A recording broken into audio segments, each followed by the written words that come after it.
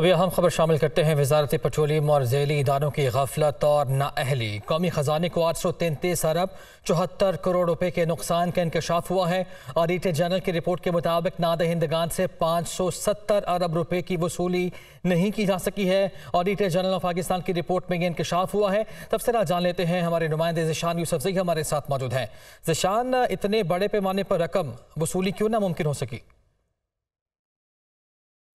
देखिए auditor general का जो रिपोर्ट आया है, इसमें इंतहाई अहम बातें सामने आई है, जो चंद चीदा चीदा नुकात है, अगर वो मैं आपको बताता चलूँ, एक तो ये कि तरक्याती स्कीम्स मुकम्मल नहीं हुई, दूसरी, यहाँ पर एक और इशू है कि वसूली नहीं हो सकी, जिस तरह पावर सेक्टर में नहीं हो रही, इस तरह पेट्रोलियम में, लेकिन इसमें फ़र्क ये है कि पावर सेक्टर की वसूली सार्फिन से नहीं हो रही, यहाँ पर कंपनी से वसूली नहीं की गई, इसके साथ साथ कंपनी से रियाल्टी भी नहीं ली गई गैर कानूनी सब्सिडीज़ की मद में जो है अरबों रुपये का नुकसान हुआ, और एक जो पाकिस्तान को अल्लाह ताला ने मादनियात से नवाजा है, उसको निकालने का कोई अमल नहीं, और जो मादनियात निकाले गए तो उसके लिए मुनासिब आलात नहीं लगाए गए जिसकी वजह से अरबों रुपए का नुकसान हुआ। ऑडिटर जनरल के रिपोर्ट के मुताबिक आठ सौ तैंतीस अरब और चौहत्तर करोड़ के से जायद के नुकसान हुए कौमी ख़जाने को और नादहिंदगान की वसूली की अगर मैं बताऊँ तो पाँच सौ सत्तर अरब रुपए की वसूली ना हो सकी जो गर्दिशी कर्जे का सबब बन रही है। इसके साथ साथ एल एन जी की कीमतों में वसूली मुमकिन नहीं हो सकी है। जिशान शुक्रिया आपका।